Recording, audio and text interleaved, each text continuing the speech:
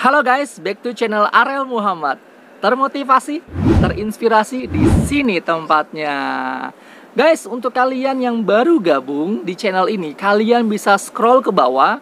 Uh, banyak konten yang bisa menginspirasi kalian. Dan guys, uh, hari ini saya akan ajak kalian bermain-main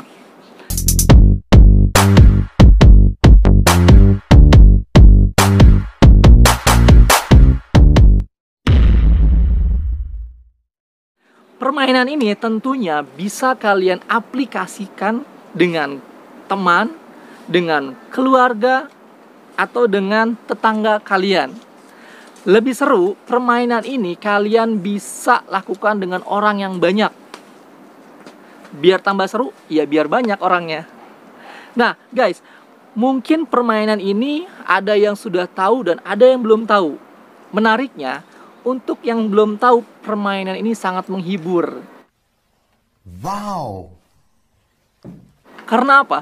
Karena permainan ini sekaligus bisa mengedukasi kalian.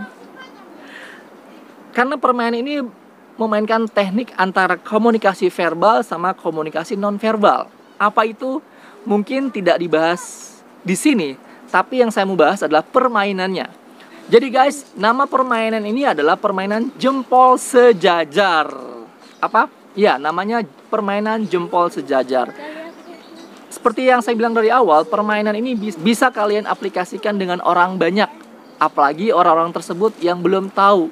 Nah, guys, terkait permainan jempol sejajar ini, mungkin di antara kalian ada yang pernah ikut pelatihan atau training di tempat-tempat tertentu. Ya, Mungkin kalian pernah melakukan, tapi mungkin juga ada yang belum pernah ikut training, belum pernah memainkan permainan ini. Iya.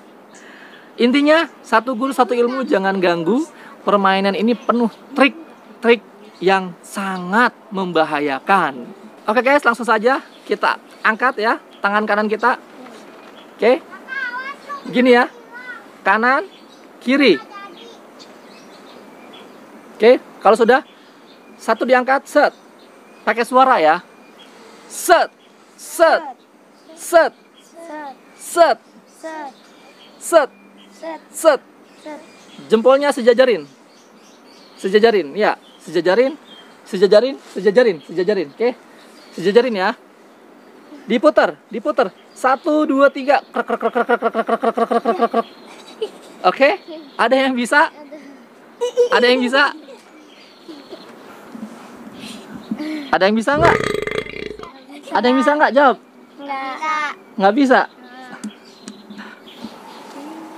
Gimana guys? Ada yang bisa? Ternyata tadi penonton saya menjawab tidak bisa. Sekali lagi, sekali lagi ya, sekali lagi ya. Ayo. Diangkat tangannya ada suaranya. Set. Set. Set. Set. Set. Set. Set. Set. Set. Set. Set. Set. Jempolnya sejajarin. Ya, Iya, jempolnya. Ya, jempolnya, jempolnya. Jajarin ya. Oke. Kita putar sama-sama balik lagi. Satu, dua, tiga, putar. Ada yang masih belum bisa? Bisa. Bisa? Bisa nggak? Dede bisa. Bisa. Iya, saya nggak bisa. Waduh. Oke. Kalau nggak bisa, saya miring. Ayo. Angkat tangannya, angkat tangannya. Tangan angkat. Set. Set. Set. Set. Set. Set. Set. Set. Set. Sejajarin.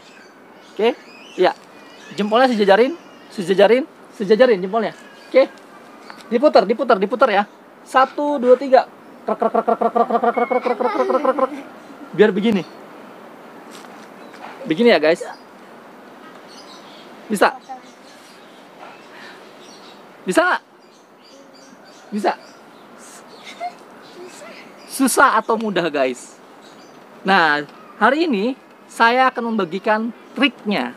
Karena games ini harus saya jelaskan kepada kalian agar kalian bisa melakukannya bersama teman-teman, keluarga atau tetangga kalian.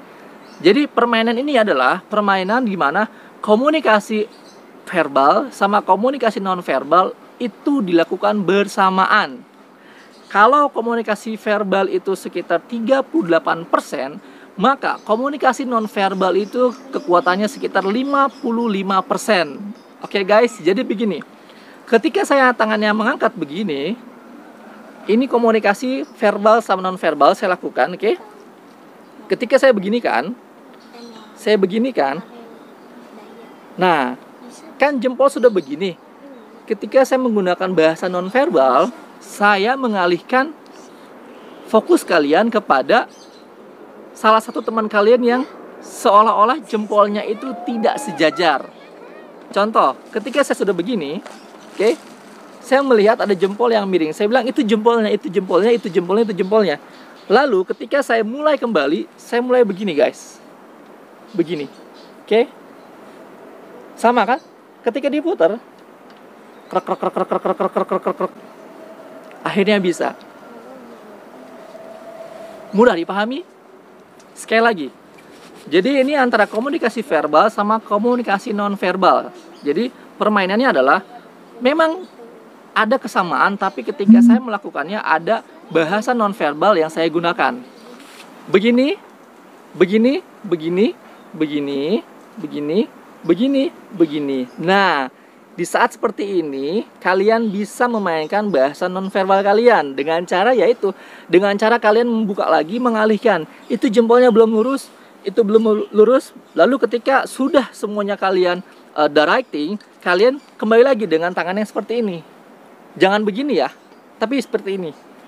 Nah, ketika setelah seperti ini, fokus mereka sudah terpecah, guys jadi artinya ketika bahasa nonverbal itu kekuatannya 55%, kalian gunakan otomatis otak manusia tidak bisa mencerna dalam satu yang satu kesamaan. Oke, tinggal kalian begini kan? Kalian puter. Krek, krek, krek, krek, krek, krek. Nah, guys, saran untuk permainan seperti ini kalian tidak boleh melakukannya dengan orang yang sama berulang-ulang. Karena apa? Dengan begitu, orang tersebut akan fokus. Dia akan Oke okay guys, cukup sekian trik games. Oke okay guys, cukup sekian trik kali ini. Mudah-mudahan bisa kalian aplikasikan dengan teman kalian, pacar kalian, keluarga kalian atau tetangga kalian.